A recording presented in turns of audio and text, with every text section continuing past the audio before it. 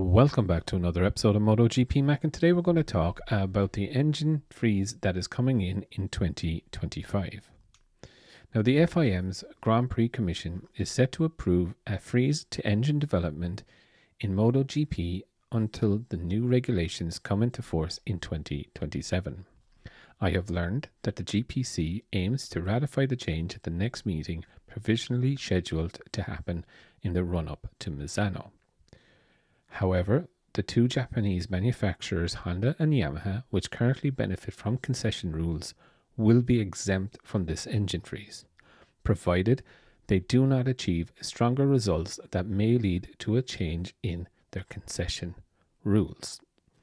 In 2027, the engines will change from 1000cc and be replaced by the smaller 850cc version. Teams are currently obliged to homologate their engines before the first round of the calendar. The stewards of the teams association IERTA are in charge of the process of sealing the power units and the checks that are carried out on those engines throughout the year. Once a green light is given, the power units will then be homologated. At the latest and in the run up to the season opening race that happens to be the Thai Grand Prix on the 2nd of March next season. These components cannot be modified until after the last race. The specification certified at the Thai Grand Prix in 2025 will have to be the same as the ones used until the end of 2026 season. Now, there are a few exceptions to engine freezes that will allow modifications. For example, if it can be demonstrated that the intention behind breaking the seal is for safety reasons, then this can be done.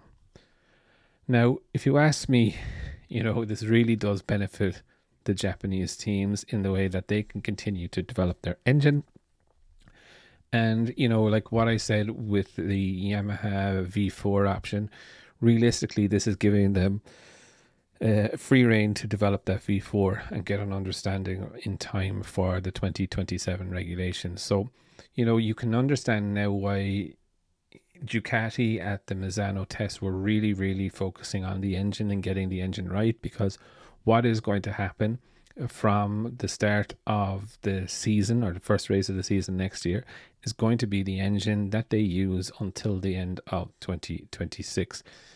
I get it and I understand it. They don't need or want to have two engine programs running at the one time.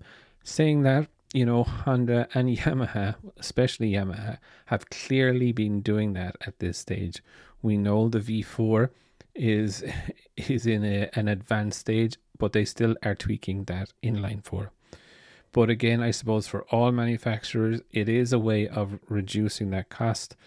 Um, but you know, it is thinking a small bit that Honda and Yamaha um, are allowed free engine development during that time. But I would definitely love to know your thoughts. What do you think of the engine freeze coming in? Definitely leave your thoughts in the comments below. And I'll be back again tomorrow with another video.